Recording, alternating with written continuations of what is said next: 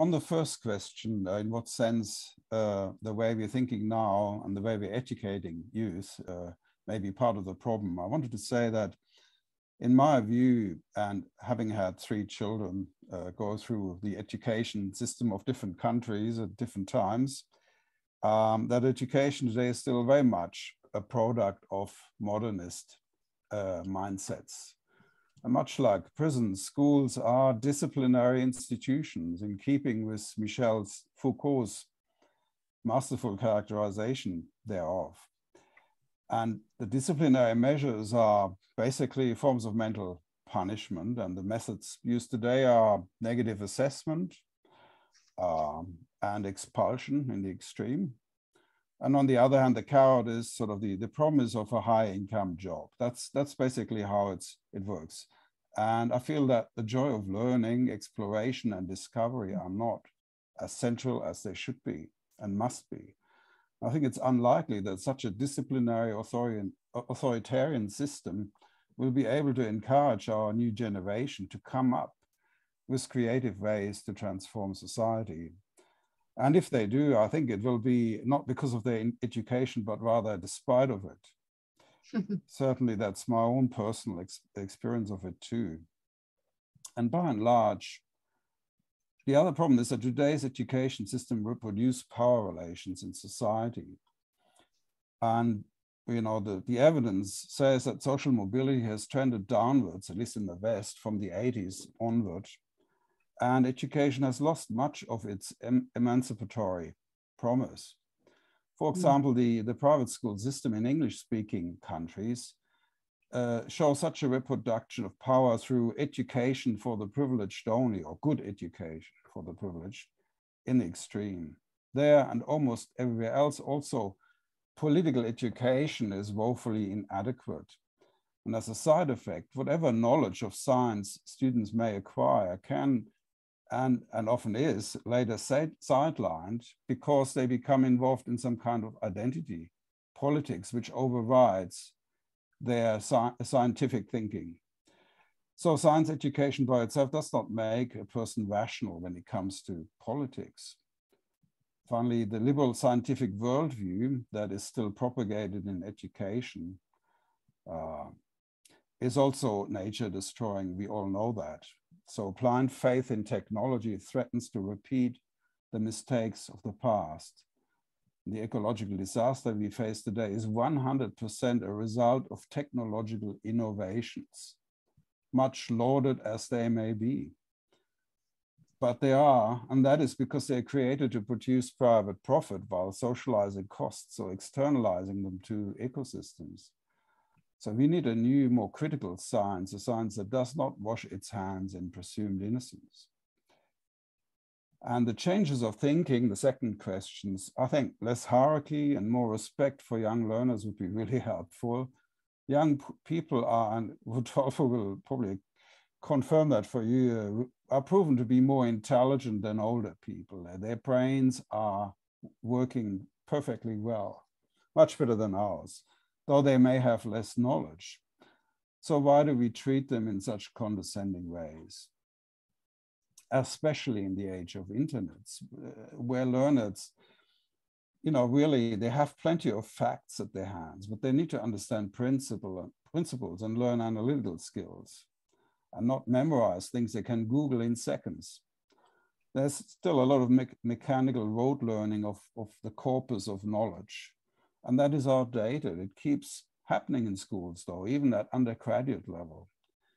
Uh, of course, some facts are still worth having at one's fingertips, say if you're a doctor, yeah, but we would we should be very selective about what factual learning we, we uh, hang on to and, and what we replace with analytical skills.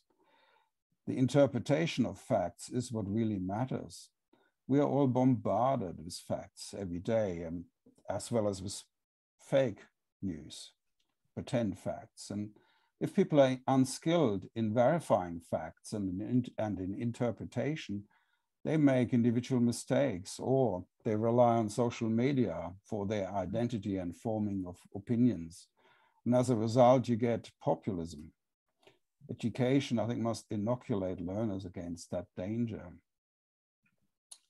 Uh, le learners also need opportunities, I think, to work in explorative projects, which would help them develop their creative imagination and also their ability to collaborate in teams.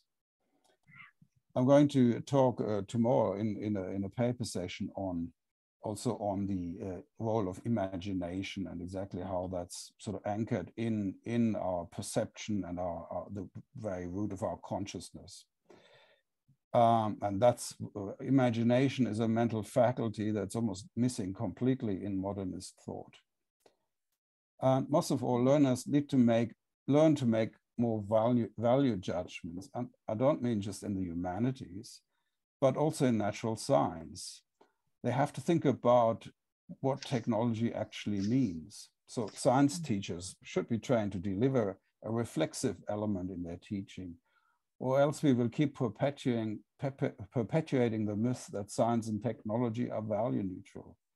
The science teacher, I think, should not just, should, for example, not just speak about nuclear fission uh, as a physics problem and, and ignore the implications from nuclear power plants to atomic bombs. So critical science teaching is, is one practical, vital practical step. And students should walk away thinking that, well, it's great to understand the laws of nature and it opens many technical opportunities, but it's also dangerous, much as, you know, in the story of the uh, magician's apprentice.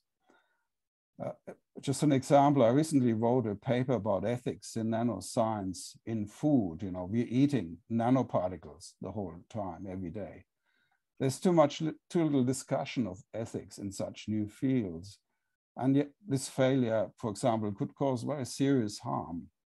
So precautionary harm reduction should be a central part of the design process in technology and also in teaching. teaching. Uh, to think about the implications of, of, of uh, technology.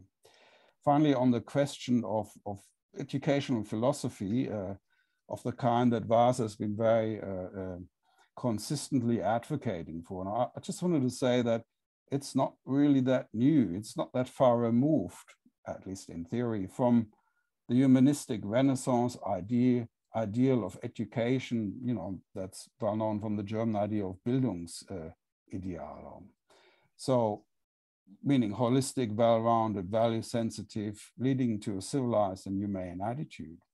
The problem, therefore, I think, is not that we lack ideas of what education should be, but we don't know how to put that into practice. Personally, I think we should we need a revolution in teacher training. We may also need some training for university lecturers. Many of them never receive any pedagogical training at all. Yet are expected to live lectures at the level of sophistication of, say, a high quality uh, TED talk with advanced audio visuals and so on the support is just not there for these educators. High school teachers uh, simply do not have the time to develop sophisticated lesson plans. We could perhaps cut their contact hours in half and double their numbers, but who will pay for it? Are we willing to pay for that?